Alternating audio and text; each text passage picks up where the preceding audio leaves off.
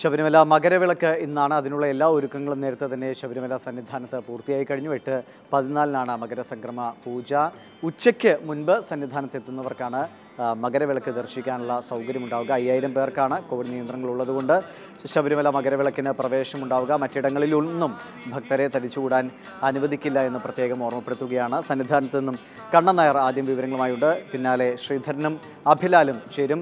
കണ്ണൻ എന്തായാലും തിരക്കൊക്കെ കുറവാണ്. നമ്മൾ കഴിഞ്ഞ തവണയൊക്കെ ആണെങ്കിൽ അവിടെ നിന്ന് റിപ്പോർട്ടറെ കണ്ടെത്താൻ പോലും ബുദ്ധിമുട്ടുന്ന അവസ്ഥയുണ്ട്. പക്ഷേ ഇത്തവണ കോവിഡ് സാഹചര്യങ്ങൾ മാറ്റിമറിച്ചിരിക്കുന്നു. എങ്കിലും എങ്ങനെയാണ് ഒരുക്കങ്ങൾ പൂർത്തിയാക്കിയിരിക്കുന്നത്? എത്ര പേർക്ക് ഈ ദർശനം മകരവിളക്ക് കാണാനുള്ള ഒരു സൗകര്യമുണ്ടാകും? എങ്ങനെയാണ് ആളുകളെ പ്രവേശിപ്പിക്കുന്ന രീതികളൊക്കെ? ഭക്തസഹസ്രങ്ങൾ കാത്തിരിക്കുന്ന ആ ദിവസം എത്തിയിരിക്കുന്നു. മകരസംക്രമ ദിനം എത്തിയിരിക്കുന്നു. മകരവിളക്ക് ദിനം എത്തിയിരിക്കുന്നു. ഇവിടെ എല്ലാവിധ ഒരുക്കങ്ങളും പൂർത്തിയായിട്ടുണ്ട്. കോടാനുകോടി അയ്യപ്പഭക്തന്മാരെല്ലാം കാത്തിരുന്ന ദിവസമാണിത് ഏറ്റവും അയ്യപ്പ ശബരിമല മകരവിളക്ക് മകര മകരവിളക്ക് കാലത്ത് ഏറ്റവും പ്രധാനപ്പെട്ട കാര്യം ദിവസം ഇന്ന് മകരസംക്രമ പൂജ ആണ്. എട്ട് പതിനാലിനാണ് മകരസംക്രമ പൂജ നടക്കുന്നത്. തന്ത്രി കണ്ഠരൻ രാജീവർ നേതൃത്വത്തിലാണ് ഈ പൂജ നടക്കുന്നത്. ഇപ്പം തന്നെ അതിനുശേഷം വൈകിട്ട് അഞ്ചേ കാലോടുകൂടി തിരുവാഭരണ ഘോഷയാത്ര ശരംകുത്തിയിലെത്തും ശരംകുത്തിയിൽ നിന്ന് ഇവിടെ നിന്ന് നിയോഗിക്കുന്ന ദേവസ്വം ബോർഡ് നിയോഗിക്കുന്ന തന്ത് നിയോഗിക്കുന്ന ആൾക്കാർ ഉദ്യോഗസ്ഥരും ശാന്തിക്കാരും ഒക്കെ ചേർന്ന് തിരുവാഭരണ പേടകങ്ങളെയും തിരുവാഭരണം തുള്ളി ഉറഞ്ഞാടി വരുന്ന കോമരങ്ങളെയും ഇവിടെയൊക്കെ സ്വീകരിക്കും. പതിനെട്ടാം പടി ചവിട്ടി കോമരങ്ങൾ ഈ തിരുവാഭരണ പേടകം സന്നിധാനത്തേക്ക് ശ്രീകോവിലേക്ക് എത്തിക്കുമ്പോൾ ശ്രീകോവിൽ നടയടയ്ക്കും. അതിനുശേഷം ഏതാണ്ട് പതിനഞ്ച് മിനിറ്റോളം അയ്യപ്പനെ തിരുവാഭരണങ്ങൾ ചാർത്തിക്കുന്നതിന് വേണ്ടിയുള്ള ആ സമയമാണ്. ആ സമയത്തൊക്കെ തൊഴുകൈകളോടുകൂടി അങ്ങ് കിഴക്ക് പൊന്നമ്പലമേട്ടിലേക്ക് നോക്കി നിൽക്കുന്ന തൊഴുകൈകളോട് നിൽക്കുന്ന ഭക്തന്മാരെ നമുക്കിവിടെ കാണാൻ സാധിക്കും. നേരത്തെ ദിവീഷ് സൂചിപ്പിച്ചതുപോലെ മുൻവർഷങ്ങളിലൊക്കെ തന്നെ ഇപ്പോൾ ഞാനിപ്പോൾ നിൽക്കുന്ന മേലെ തിരുമുരത്തേക്ക് എത്തുമ്പോൾ നമുക്ക് നേരത്തെ ദിവീഷിന്റെ വാക്കുകൾ കടമെടുക്കുകയാണെങ്കിൽ റിപ്പോർട്ടറെ കാണാൻ പോലും സാധിക്കാത്ത ഒരു സാഹചര്യമായിരുന്നു. അതുപോലെ വലിയ തിരക്കാണ്. എന്നാൽ ഇത്തവണ ആ തിരക്കില്ല. ഒഴിഞ്ഞ പതിനെട്ടാം പടി പതിനെട്ടാം പടിയിൽ തൊട്ട് വന്ദിച്ച് ഓരോ ആൾക്കാർക്കും കയറി വരാൻ സാധിക്കുന്ന ഒരു സാഹചര്യം നമുക്കിപ്പോൾ പതിനെട്ടാം പടിക്ക് താഴെ ഭക്തരെ തടഞ്ഞിരിക്കുന്നു. കാര്യം ഇപ്പോൾ പൂജാവേളയാണ്. ഉഷപൂജ നടക്കാൻ പോവുകയാണ്. അതുകൊണ്ട് തന്നെയാണ് ഭക്തരെ തടഞ്ഞിരിക്കുന്നത്. അതിനുശേഷം ഉഷപൂജയ്ക്ക് ശേഷമായിരിക്കും ഇനി പതിനെട്ടാം പടിയിലേക്ക് ഭക്തന്മാരെ കടത്തിവിടുക. അയ്യായിരം ഭക്തർക്ക് മാത്രമാണ് സന്നിധാനത്തേക്ക് മകരവിളക്ക് ദർശനത്തിനായി എത്താൻ സാധിക്കുക. നേരത്തെയൊക്കെ സെലിബ്രിറ്റികളായിട്ടുള്ള പല ആൾക്കാരും മകരവിളക്കിന്റെ തലേദിവസം തന്നെ സന്നിധാനത്തേക്ക് എത്തുമായിരുന്നു. എന്നാൽ ഇക്കുറി അങ്ങനെയുള്ള ആൾക്കാർ ആരും തന്നെ എത്തുന്നില്ല. അവരെല്ലാം തന്നെ ഈ വീട്ടിലിരുന്ന് അയ്യപ്പനെ ഭജിക്കുകയാണ്. അങ്ങനെയുള്ള ഒരു ഭക്തിസാന്ദ്രമായ ഒരു അന്തരീക്ഷം. ഇതൊക്കെ ഇത്രയൊക്കെ തന്നെയായാലും ശബരിമല എന്ന് പറയുന്ന ക്ഷേത്രത്തെക്കുറിച്ച് പറയുമ്പോൾ ഇവിടെ ജാതിയോ മതമോ വർഗമോ വർണമോ ഒന്നുമില്ല. ഏത് മതത്തിലും ജാതിയിലും പെട്ട ആൾക്കാർക്ക് ഇവിടേക്ക് വരാം. ഇവിടേക്ക് വരുമ്പോൾ നമുക്ക് കാണാൻ സാധിക്കും. തത്വമസി എന്നൊരു ആപ്തവാക്യം എഴുതിയിട്ടുണ്ട്. അതായത് അത് ഇവിടേക്ക് വരുന്ന വ്യക്തി ആരാണോ അതിൽ ആ വ്യക്തി തന്നെ ആണ് ക്ഷേത്രത്തിൽ വിരിക്കുന്നത് നിങ്ങൾ ആരെ തേടി വരുന്നോ അത് ഞാൻ അത് നിങ്ങളിൽ തന്നെ ഉണ്ട് എന്നുള്ള സന്ദേശം നൽകുന്ന ഒരു ക്ഷേത്രം അത്തരത്തിലുള്ളൊരു ക്ഷേത്രം ലോകത്ത് എവിടെയെങ്കിലും ഉണ്ടെങ്കിൽ അത് ശബരിമല മാത്രമാണ്. ആ ശബരിമലയിലെ ഏറ്റവും പ്രധാനപ്പെട്ട ഒരു ചടങ്ങാണ് ഇന്ന് നടക്കാൻ പോകുന്നത്. എല്ലാവിധ ഒരുക്കങ്ങളും പൂർത്തിയായിട്ടുണ്ട്. നേരത്തെയൊക്കെ മാരവിളക്ക് സമയത്തൊക്കെ തന്നെ ഏതാണ്ട് രണ്ടായിരത്തോളം പോലീസ് അയ്യപ്പന്മാർ ഇവിടെ ഉണ്ടായിരുന്നെങ്കിൽ ഇവിടെ വളരെ കുറച്ച് പോലീസ് അയ്യപ്പന്മാർ മാത്രമാണുള്ളത്. ഒപ്പം തന്നെ ആർ പി എഫിന്റെയും എൻ ഡി ആർ എഫിന്റെയും ഒക്കെ സേന സേനാംഗങ്ങളൊക്കെ ഉണ്ടായിരുന്നു. എന്നാൽ ഇക്കുറി അതൊന്നുമില്ല. എല്ലാം തന്നെ വളരെ സുഗമമായി വളരെ കൃത്യമായ കോവിഡ് മാനദണ്ഡങ്ങൾ പാലിച്ചുകൊണ്ട് സുഖകരമായിട്ടുള്ള ഒരു മകരവിളക്ക് ദർശനം സാധ്യമാക്കുന്നതിന് വേണ്ടിയുള്ള ക്രമീകരണങ്ങളാണ് ഏർപ്പെടുത്തുന്നത്. തിരു കവടിയാർ കൊട്ടാരത്തിൽ നിന്ന് കൊണ്ടുവന്ന നെയ്യ് ഉപയോഗിച്ചാണ് അല്പസമയത്തിനുള്ളിൽ ഇവിടെ മകരസംക്രമ പൂജ നടക്കാൻ പോകുന്നത്. ഒപ്പം തന്നെ മന്ത്രി കടകംപള്ളി സുരേന്ദ്രൻ ദേവസ്വം ബോർഡ് പ്രസിഡന്റ് അടക്കമുള്ള അധികാരികളെല്ലാം തന്നെ ഇവിടെ എത്തിയിട്ടുണ്ട്. എല്ലാവിധ ഒരുക്കങ്ങളും പൂർത്തിയായിക്കൊണ്ട് സുഖകരമായിട്ടുള്ള മികച്ച ഒരു ശബരിമല ദർശനത്തിന് വേണ്ടി അല്ലെങ്കിൽ മകരവിളക്ക് ദർശനത്തിനുള്ള കാത്തിരിപ്പിലാണ് ഇവിടെ എത്തി നിൽക്കുന്ന ഭക്തന്മാരും. ഇതിന് പുറത്തു നിന്ന് ഈ അയ്യപ്പനെ സ്തുതിച്ചുകൊണ്ട് ഇരിക്കുന്ന അയ്യപ്പ ഭക്തന്മാരെല്ലാവരും തന്നെ ഉള്ളത് ശ- ശരി കണ്ണൻ. നമുക്കൊപ്പം ശബരിമല തന്ത്രി ശ്രീ കണ്ഠർ രാജീവർ കൂടി അതിഥിയായി ചേരുന്നുണ്ട് അങ്ങേക്ക് സ്വാഗതം മാതൃഭൂമി ന്യൂസ് വേക്കപ്പ് കേരളയിലേക്ക്. എന്തായാലും നമുക്കറിയാം കഴിഞ്ഞ വർഷങ്ങളിലൊക്കെ ഒരു സെക്കൻഡെങ്കിലും അയ്യനെ കണ്ടാൽ മതി എന്ന് കരുതിയാണ് ഭക്തർ അങ്ങോട്ടേക്ക് എത്താറ് ഇത്തവണ പക്ഷേ അവർക്ക് കൂടുതൽ സമയം നിന്ന് തൊഴാനുള്ള സൗകര്യമൊക്കെ ഉണ്ട് പക്ഷേ ആ തിരക്കിന്റെ കാലം അത് ഭക്തനെ സംബന്ധിച്ച് എപ്പോഴും മനസ്സിലുള്ളതാണ്. അങ്ങെങ്ങനെ കാണുന്നു ഈ തിരക്കില്ലാത്ത അല്ലെങ്കിൽ പതിവിന് വിപരീതമായ ഈ മകരവിളക്ക് ദിനത്തെ? ശരണഘോഷങ്ങൾ ഉയരേണ്ട സമയമാണിവിടെ. പക്ഷേ എല്ലാ ഭക്ത മനസ്സിലും ശകലം വിഷമമുണ്ട്. ഇല്ല എന്ന് പറയുന്നില്ല. അത്ര തിരക്കും ശരണഘോഷങ്ങളും നടക്കേണ്ട സ്ഥലത്ത് ഇന്ന് ശുഷ്കമായ ഒരു അന്തരീക്ഷമാണിത്. എങ്കിലും ഇവിടുത്തെ ചടങ്ങുകളിലൊന്നും ഒരു കുഴപ്പം കൂടാതെ ഭംഗിയായിട്ട് തന്നെ നടക്കുന്നുണ്ട്. മകരസംക്രമ പൂജ എട്ട് പതിനാലിനുള്ള മുഹൂർത്തത്തിനാണ്. ധനുമാസത്തിൽ നിന്നും മകരത്തിലേക്ക് സൂര്യൻ സംക്രമിക്കുന്ന സമയമാണ് സംക്രമ പൂജ നടത്തുന്നത്. അത് എട്ട് പതിനാലിനാണ് രാവിലെ. അതിനുവേണ്ടി തിരുവിതാംകൂർ കൊട്ടാരത്തിൽ നിന്ന് പ്രത്യേകം കെട്ട് നിറച്ച് വന്നിട്ടുണ്ട്. ആ നെയ്ത്തേങ്ങയാണ് മകരസംക്രമ പൂജയുടെ മധ്യത്തിൽ അഭിഷേകം ചെയ്യുന്നത്. അതൊരു വിശിഷ്ടമായ ഒരു പൂജയാണ് ശബരിമലയെ സംബന്ധിച്ചിടത്തോളം. ആ പൂജ ദർശിക്കാൻ തന്നെ ധാരാളം പേര് ഇവിടെ എത്തിയിട്ടുണ്ട്. പിന്നെ വൈകിട്ട് പന്തളം കൊട്ടാരത്തിൽ നിന്ന് കൊടുത്തുവിട്ട തിരുവാഭരണം ചാർത്തി ദീപാരാധനയാണ്. ഏകദേശം അഞ്ച് മണിയോടുകൂടി ശരംകുത്തിയിൽ തിരുവാഭരണം എത്തിച്ചേരും. അപ്പോൾ ഇവിടുന്ന് നിയോഗിപ്പിക്ക നിയോഗിക്കപ്പെട്ട ഉദ്യോഗസ്ഥന്മാർ അവിടെ ചെന്ന് അത് സ്വീകരിച്ച് ഇവിടെ കൊണ്ടുവന്ന് ഞങ്ങളെ ഏൽപ്പിക്കും. ശ്രീകോവിലിന്റെ അകത്ത് കയറി നടയടച്ച് കഴിഞ്ഞാൽ പിന്നെ അത് ചാർത്തി ദീപാരാധനയാണ്. ആ ദീപാരാധന കഴിയുമ്പോഴാണ് പൊന്നമ്പലമോട്ടിൽ ദിവ്യ ജ്യോതിസ് തെളിയുന്നത്. ഇത് കാണാനും വേണ്ടി മാത്രം എല്ലാ സ്ഥലത്തു നിന്നും എത്തിക്കൊണ്ടിരുന്ന ആൾക്കാർ ഇത്തവണ അധികമില്ല. ഈ കൊറോണയുടെ ഒരു പശ്ചാത്തലത്തിൽ നിയന്ത്രണങ്ങളുള്ളതുകൊണ്ട് ഇല്ല.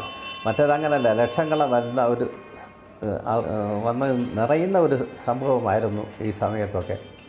അത് എത്താൻ പറ്റാത്ത ഭക്തജനങ്ങൾക്ക് അതിന് വേദനയുണ്ട്. അവർ വീട്ടിലിരുന്ന് പ്രാർത്ഥിക്കുകയാണ്.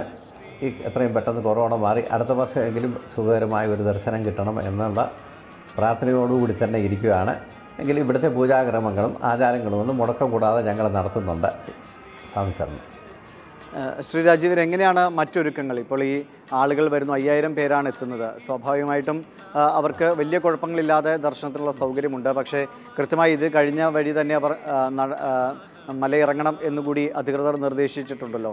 ഇതുവരെ ഈ നിയന്ത്രണങ്ങളൊക്കെ കൃത്യമായി പാലിച്ച് തന്നെയാണ് കാര്യങ്ങൾ മുന്നോട്ട് പോയത്. എങ്ങനെയാണ് അങ്ങ് കഴിഞ്ഞ ഈ തീർത്ഥാടന കാലത്ത് കോവിഡ് നിയന്ത്രണങ്ങൾ എങ്ങനെയാണ് ശബരിമലയിൽ കൃത്യമായി നടപ്പാക്കിയത്? അതിന് ദേവസ്വം ബോർഡിന്റെയും മറ്റ് അല്ലെങ്കിൽ വരുന്നവരിൽ നിന്നുമൊക്കെയുള്ള ഒരു സഹകരണം എങ്ങനെയായിരുന്നു? അത് നല്ല രീതിയിലായിരുന്നു. ദേവസ്വം ബോർഡും ഗവൺമെന്റും ഇവിടെ കൊറോണ നിയന്ത്രണം നടത്തിയിരുന്നത്. അതൊക്കെ പാലിച്ച് തന്നെയാണ് എല്ലാ ഭക്തജനങ്ങളും വന്നുകൊണ്ടിരിക്കുന്നത്. എല്ലാവർക്കും സുഖകരമായ ഒരു ദർശനം കിട്ടി തിരക്കില്ലാത്തതുകൊണ്ട്. അതൊരു ചാരിതാർത്ഥമായ കാരണം കാര്യം തന്നെയാണ്. എല്ലാവരും നല്ലപോലെ ദർശനം നടത്തി തൊഴുതിട്ട് തന്നെ പോയത്. പക്ഷേ ഇവിടെ തെങ്ങാൻ ഈ കൊറോണ നിയന്ത്രണം കാരണം അനുവദിക്കുന്നില്ല. അതുകൊണ്ട് ബുദ്ധിമുട്ടുണ്ട് ജനങ്ങൾക്ക് നല്ലതല്ലാതെ. പക്ഷേ മറ്റ് തടസ്സങ്ങളൊന്നുമില്ല. എല്ലാവരും നല്ല സന്തോഷത്തോടുകൂടി തന്നെയാണ് പോയിരിക്കുന്നത് ഭക്തജനങ്ങളെല്ലാം. എങ്ങനെയാണ് വരുന്നവർ? സാധാരണഗതിയിൽ തന്ത്രിയെയും അല്ലെങ്കിൽ മേൽശാന്തിമാരെയും ഒക്കെ കാണാനുള്ള ഒരു തിരക്ക് കൂടി പലപ്പോഴും അവിടെ ഉണ്ടാകാറുണ്ട്. ഈ ഇത്തവണ കൂടുതൽ വന്നതും മറ്റ് സംസ്ഥാനങ്ങളിൽ നിന്നാണെന്നും അറിഞ്ഞു. കാരണം ഈ നിയന്ത്രണങ്ങളൊക്കെ ഉള്ളതുകൊണ്ട് മലയാളികൾ കുറച്ചൊന്ന് പിന്നാക്കം പോയിട്ടുണ്ട്. എങ്ങനെയാണ് വരുന്ന ഭക്തരിൽ നിന്ന് അങ്ങേക്ക് നേരിട്ടറിയാൻ കഴിഞ്ഞ പ്രതികരണങ്ങൾ? അല്ല ഈ പതിവിന് വിപരീതമായ ഈ സന്നിധാനം ഭക്തർക്ക് എന്തൊരു വികാരമാണ് ഉണ്ടാക്കുന്നത്? അതിനെക്കുറിച്ച് അവർ അങ്ങയോട് എപ്പോഴെങ്കിലും സംസാരിക്കുകയുണ്ടായാലും അങ്ങ് ആ പ്രതികരണങ്ങൾ തേടുകയുണ്ടായോ? ഞാൻ തേടുകയുണ്ടായി. പക്ഷേ ഭക്തന്മാരെ ഒന്നും ഞങ്ങൾ ഇങ്ങോട്ടൊന്നും കയറ്റുന്നില്ലേ? കൊറോണ നിയന്ത്രണം ഉള്ളതുകൊണ്ട് ആർക്കെ എങ്ങനെയാണ് വരുന്നതെന്ന് അറിയാത്തതുകൊണ്ട് തന്ത്രിയും മേശാന്തിയും ഒന്നും കാണുന്നതിന് തന്നെ നിയന്ത്രണങ്ങളുണ്ട്. എങ്കിലും അപൂർവം ചിലരെ ഞങ്ങൾ ഞങ്ങൾ കാണാറുണ്ട്. അവരിൽ നിന്നുള്ള പ്രതികരണം കിട്ടുന്നുണ്ട്. പഴയതുപോലെ അവർക്ക് ഞങ്ങളെ കണ്ടു പ്രസാദം വാങ്ങിച്ചു പോകാനുള്ള ഒരു സൗകര്യങ്ങളൊന്നുമില്ല.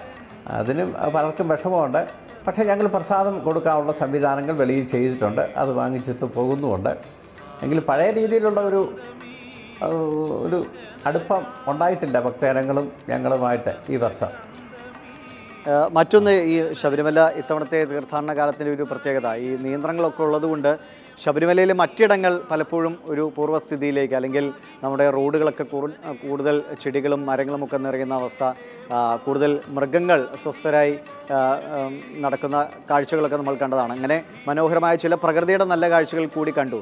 അപ്പോൾ ഇത്തരം ചില കരുതലുകൾ കൂടി വേണം. ഈ തിരക്ക് കൂടുമ്പോഴും പ്രകൃതിയെ സംരക്ഷിക്കേണ്ടതിന്റെ ഒരു ആവശ്യകത. നമുക്കറിയാം പ്ലാസ്റ്റിക് നിരോധനമൊക്കെ കൃത്യമായി നടപ്പാക്കാൻ കഴിയുന്നുണ്ടെങ്കിൽ പോലും പലപ്പോഴും എത്തുന്ന ഭക്തരാണ് അതിലൊരു തടസ്സമുണ്ടാക്കുക അല്ലെങ്കിൽ വേണ്ട രീതിയിൽ പെരുമാറാതിരിക്കാറ്. ഇത്തവണ അതിനൊരു മാറ്റം കൂടി. ഈ ഒരു കരുതൽ നമ്മൾ ഇനിയുള്ള കാലത്ത് ഈ തിരക്ക് കൂടുമ്പോഴും പ്രകൃതിയോടും ഒക്കെ തുടരേണ്ട ഒരു മനോഭാവത്തിലേക്ക് ആളുകൾ മാറുമെന്ന് പ്രതീക്ഷിക്കാം. തീർച്ചയായിട്ടും പ്രതീക്ഷിക്കാം. പ്രകൃതിയെ കാര്യമായിട്ട് കരുതലോടുകൂടി തന്നെ സംരക്ഷിക്കേണ്ടതാണ് എന്നുള്ളൊരു വലിയ സന്ദേശം ഇതിൽ നിന്ന് കിട്ടുന്നുണ്ട്. അത് ഭക്തജനങ്ങൾ ഉൾക്കൊള്ളുന്നുണ്ട്. എല്ലാ ജനങ്ങളും ഉൾക്കൊള്ളുന്നുണ്ട്. നമ്മൾ പ്രകൃതിയെ സംരക്ഷിക്കേണ്ടതാണ്. പ്രകൃതി ഉണ്ടെങ്കിലേ മനുഷ്യനുള്ളൂ എന്നുള്ള ഒരു വലിയ തത്വം ഇതിൽ നിന്ന് പഠിച്ചിട്ടുണ്ട്. പക്ഷേ മുൻകർഷങ്ങളിലും പ്രകൃതിയെ ഒന്നും ഒരുപാട് ഹർട്ട് ചെയ്യാതെ തന്നെയാണ് ഭക്തന്മാർ വന്നിരുന്നത്. ഇവിടെ ആരും ഒന്നും നശിപ്പിച്ചിട്ടില്ല. പ്ലാസ്റ്റിക് നിരോധനമുണ്ട്. ഇതെല്ലാം അവർ പരിപൂർണമായി പാലിച്ചിട്ടുണ്ട്. ഇനിയും അത് കുറച്ചുകൂടെ കർശനമായിട്ട് അവർ പാലിക്കാൻ തയ്യാറാകും എന്ന് തന്നെയാണ് പ്രത്യാശിക്കുന്നത്. ശരി ശ്രീ തന്ത്രി. കണ്ഠര് രാജീവർ വളരെ മനോഹരമായ അല്ലെങ്കിൽ ഭക്തർക്ക് ഏറ്റവും സന്തോഷകരമായ ഒരു ദിവസവും നിമിഷങ്ങളുമാകട്ടെ മകരവിളക്ക് ദിനം സമ്മാനിക്കുന്നത്. അങ്ങേക്ക് വളരെ നന്ദി. ഈ നിമിഷം ഞങ്ങൾക്കൊപ്പം ചേർന്ന് ശബരിമല വിവരങ്ങൾ പങ്കുവച്ചത്. സ്വാമി ശരണം. സ്വാമി ശരണം. ഇനി നിലയ്ക്കൽ നിന്ന് സി കെ അഭിലാലാണ് വിവരങ്ങൾ നൽകുക. അഭിലാൽ എങ്ങനെയാണ് നിലയ്ക്കലിലേക്ക് എത്തുന്ന ആളുകളുടെ ഈ പാർക്കിംഗ് ക്രമീകരണങ്ങളൊക്കെ ഏർപ്പെടുത്തിയിരിക്കുന്നത്? എവിടെ മുതലാണ് കൃത്യം പോലീസിന്റെയൊക്കെ നിയന്ത്രണത്തോടെ ഭക്തരുടെ പ്രവേശനം തുടങ്ങുക? ദിവീഷ് അയ്യപ്പ ഭക്തർ ദിവസങ്ങളായി കാത്തിരുന്ന ശുഭദിനത്തിലേക്കാണ് കാര്യങ്ങൾ എത്തിച്ചേർന്നിരിക്കുന്നത്. ശബരിമല തീർത്ഥാടനം അതിന്റെ ഏറ്റവും പ്രധാനപ്പെട്ട മണിക്കൂറുകളിലേക്ക് മുഹൂർത്തത്തിലേക്ക് എത്തിച്ചേർന്നിരിക്കുകയാണ്. രണ്ട് ദിവസം മുൻപ് പന്തളത്തു നിന്നും പുറപ്പെട്ട തിരുവാഭരണ ഘോഷയാത്ര അല്പ നിമിഷങ്ങൾക്ക് മുൻപ് നിലയ്ക്കൽ മഹാദേവ ക്ഷേത്രത്തിൽ എത്തിച്ചേർന്നിരിക്കുകയാണ്. ഏറെക്കുറെ പന്തളത്തു നിന്നും സന്നിധാനം വരെയുള്ള എൺപത്തി മൂന്ന് കിലോമീറ്റർ ദൂരം ആണ് ആകെയുള്ളത്. അതിൽ ഏറെക്കുറെ അറുപത്തി എട്ട് കിലോമീറ്റർ ദൂരം പിന്നിട്ടിരിക്കുന്നു. ഇനിയുള്ള മണിക്കൂറുകളിലാണ് ഈ യാത്രയുടെ ഏറ്റവും ദുർഘടമായ സമയം. അതാണ് ഇനി വരാനിരിക്കുന്നത്. ഇവിടെ നിന്നും ഏറെക്കുറെ ഏഴ് നാൽപ്പത്തി അഞ്ചോടുകൂടി പുറപ്പെടും. തുടർന്ന് ഒന്നര കിലോമീറ്റർ ദൂരം കൂടി പിന്നിട്ടാൽ അട്ടത്തോട്ടിലെത്തും. അതിനുശേഷമുള്ള ഏറെക്കുറെ പന്ത്രണ്ട് കിലോമീറ്റർ യാത്രയാണ് ഏറ്റവും ദുർഘടമായിട്ടുള്ളത്. അതിൽ നുണങ്ങാർ പിന്നിടേണ്ടതുണ്ട്. ഒപ്പം തന്നെ നീലമലയിലെ കുത്തനെയുള്ള കയറ്റങ്ങൾ കടന്നു പോകേണ്ട സാഹചര്യമുണ്ട്. എന്തായാലും അയ്യപ്പ ഭക്തർ വലിയ തോതിലുള്ള പ്രാർത്ഥനാ നിർഭരമായ മണിക്കൂറുകളിലൂടെ കടന്നു പോവുകയാണ്. പന്ത്രണ്ട് മുപ്പതോടുകൂടി വലിയാനവട്ടത്ത് എത്തിച്ചേരും. പിന്നീട് നീലിമലയും ശരംകുത്തിയും അതോടൊപ്പം തന്നെ ശബരിപീഠവും പിന്നിട്ട് വൈകിട്ട് ആറ് മണിയോടുകൂടി സന്നിധാനത്ത് ഇത് എത്തിച്ചേരും. വലിയ തോതിലുള്ള ഭക്തരുടെ ഒരു തിരക്ക് ഇപ്പോൾ നിലയ്ക്കൽ മഹാദേവ ക്ഷേത്ര പരിസരത്ത് അനുഭവപ്പെടുന്നുണ്ട്. അതേസമയം തന്നെ ഇതര സംസ്ഥാനങ്ങളിൽ നിന്നെത്തിയിട്ടുള്ള ഭക്തരാണ് എണ്ണത്തിൽ കൂടുതലെന്ന് നമുക്ക് കാഴ്ചയിൽ തന്നെ മനസ്സിലാക്കാൻ കഴിയുന്ന ഒരു സാഹചര്യമുണ്ട്. അവർ കൊണ്ടുവന്നിട്ടുള്ള വാഹനങ്ങളൊക്കെ തന്നെ വിവിധയിടങ്ങളിൽ പാർക്ക് ചെയ്യുന്നതിന് വേണ്ടിയുള്ള വിപുലമായ സൗകര്യങ്ങളുണ്ട്. ഭക്തർക്ക് പമ്പ വരെ വാഹനത്തിൽ എത്തിച്ചേരാം. പക്ഷേ അവിടെ പാർക്കിങ്ങിനുള്ള സൗകര്യമില്ല. എത്തുന്ന ഭക്തരുടെ മുഴുവൻ പേരുടെയും വാഹനങ്ങൾ നിലയ്ക്കലിൽ വിശാലമായ പാർക്കിംഗ് സ്ഥലത്ത് പാർക്ക് ചെയ്യാനുള്ള വലിയ തോതിലുള്ള ക്രമീകരണങ്ങളുണ്ട്. പോലീസിന്റെ ഒക്കെ തന്നെ സന്നാഹങ്ങൾ ആവർത്തിച്ച് ഉറപ്പുവരുത്തിയ സാഹചര്യമുണ്ട്. നിലയ്ക്കലിലാണ് എത്തിച്ചേരുന്ന ആളുകളുടെ ഒക്കെ തന്നെ കോവിഡ് പരിശോധനയുടെ സർട്ടിഫിക്കറ്റ് വെരിഫൈ ചെയ്യാനുള്ള സൗകര്യം ഒരുക്കിയിട്ടുള്ളത്. ഒരു മണിക്ക് മുൻപായി തന്നെ ഇവിടെ ഇപ്പോൾ എത്തിച്ചേർന്നിട്ടുള്ള ഭക്തരിൽ ബഹുഭൂരിപക്ഷം പേരും പമ്പൈ പിന്നിട്ട് സന്നിധാന മേഖലയിൽ കടന്നുപോകും. ഒരു മണിക്ക് മുൻപ് തന്നെ എത്തിച്ചേരുന്ന ആളുകൾക്ക് മാത്രമായിരിക്കും സന്നിധാനത്ത് തങ്ങി വൈകുന്നേരത്തെ പ്രധാനപ്പെട്ട മുഹൂർത്തത്തിന് സാക്ഷിയാകാനുള്ള അവസരം ഉണ്ടാവുക. എന്തായാലും ഒരുക്കങ്ങളൊക്കെ തന്നെ പൂർത്തിയായിരിക്കുകയാണ്. ശബരിമല തീർത്ഥാടനം അതിന്റെ അവസാന നിമിഷങ്ങളിലേക്ക് അടുക്കുകയാണ്. ആറ് മണിയോടുകൂടി ഇപ്പോൾ ഇവിടെ നിലയ്ക്കലിൽ എത്തിച്ചേർന്നിട്ടിരിക്കും എത്തിച്ചേർന്നിട്ടുള്ള തിരുവാഭരണ ഘോഷയാത്ര സന്നിധാനത്ത് എത്തിച്ചേരും തുടർന്ന് ഈ തിരുവാഭരണങ്ങൾ ചാർത്തിയുള്ള ദീപാരാധനയും അതോടൊപ്പം തന്നെ മകരജ്യോതി മകരവിളക്ക് ദർശനത്തിനുള്ള ശുഭമുഹൂർത്തത്തിലേക്ക് അടുക്കുകയാണ്. പ്രാർത്ഥനാപൂർണമായ ദിവസമാണ്. അയ്യപ്പ ഭക്തർ ദിവസങ്ങളായി കാത്തിരുന്ന ശുഭദിനത്തിന് ശുഭമുഹൂർത്തത്തിലേക്ക് കാര്യങ്ങൾ അടുക്കുകയാണ് ദിവീഷ് തിരുവാഭരണഭൂഷിതനായ അയ്യനെയും ഒപ്പം തന്നെ മകരവിളക്കും ദർശിക്കാനുള്ള മണിക്കൂറുകൾ ഇനി വളരെ കുറച്ചാണ്. ഇപ്പോൾ നിലയ്ക്കൽ മഹാദേവ ക്ഷേത്രത്തിലാണ് തിരുവാഭരണ ഘോഷയാത്ര ഉള്ളത് ആറുമണിയോടെ അത് സന്നിധാനത്ത് എത്തിച്ചേരും. അഭിലാലാണ് വിവരങ്ങൾ നൽകി